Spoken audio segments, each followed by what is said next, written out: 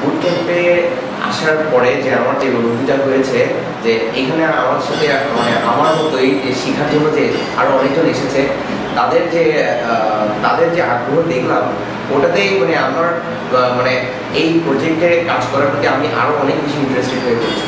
আগে এই অনলাইন কোর্সটা করলাম অনলাইন কোর্সটা করার পরও দেখা গেছে যে অনেক বিষয়ে মানে মানে ক্লিয়ার ছিল না। হ্যাঁ অনলাইন কোর্সে তো করছি বাট মানে বাসায় হয়তো বা তেমন একটা প্র্যাকটিস করা হয়নি। কিন্তু এখানে আসার পর মনে হচ্ছে না, আমাকে বাই হুক আর বাই ক্রুপ আমাকে এখন স্টার্ট করতেই হবে এনি হাউ আর এখানে তো স্যারকে পেয়েছি সরাসরি, তারপর মাসুম ভাইয়ের মতো একজন মেন্টর পাইলাম। ওনার সাকসেস সাকসেস স্টোরি শোনার পর এখন মনে হয় না আমার থেমে থাকার সময় সময় আর নাই। এখন শুরু পায় যে করে হোক আমাকে কাজে নেমে যেতে হবে।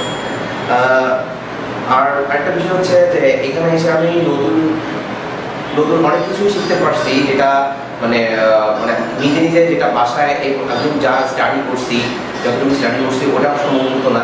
যেমন কিওয়ার্ড রিসার্চে যে মানে যে যতটুকু পরিমাণ আমার মানে প্রবলেম ছিল, ওটা প্রায় বলতে গেলে আমার এখন মোটামুটি আমি অনেক নিজেকে কনফিডেন্ট মনে করছি যে আমি কিওয়ার্ড রিসার্চ কমপ্লিট করে এখন আমি সাইট সাইটের ডোমেইন হোস্টিং কমপ্লিট করে এখন সবগুলো কাজগুলো আমি স্টেপ বাই স্টেপ একটা টোটাল একটা স্ট্র্যাটেজি আমি এখন নিজের নিজের মতো দাঁড় করাতে পারছি যে আমার কোথায় যেতে হবে। যে আমি কোথায় শুরু করব, কোথায় গিয়ে আমি শেষ করব। এটা হচ্ছে আমার একটা, আর